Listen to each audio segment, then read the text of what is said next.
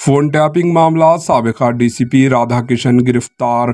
Phone tapping के मामले में सिटी पुलिस ने सबका DCP Radha Kishan retired superintendent of police मौजूदा DCP OST task force Hyderabad को गिरफ़्तार कर लिया।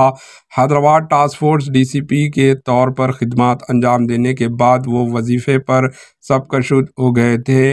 बाद वहीं वो ओएसडी के तौर पर खिदमत अंजाम दे रहे थे।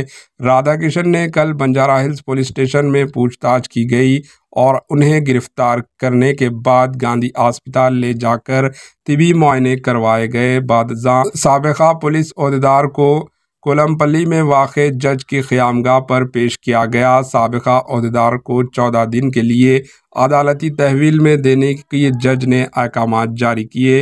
राधा किशन राव पर इल्ज़ाम है कि एसआईबी ने खिदमत अंजाम देने के दौरान इन्होंने मतालशुदा डीएसपी प्रणीत राव के फ़ोन टैपिंग की अतला की बिना पर अपनी टीम के हमरा गैर कानूनी ऑपरेशन अंजाम दिया। इसी दौरान ज़राए से मालूम हुआ है कि फ़ोन टैपिंग के मामले में एक और सब इंस्पेक्टर से पूछताछ का अमल मुकम्मल हुआ।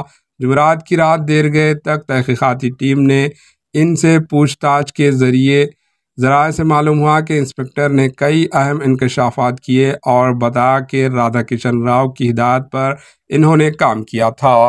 Bureau report, H news.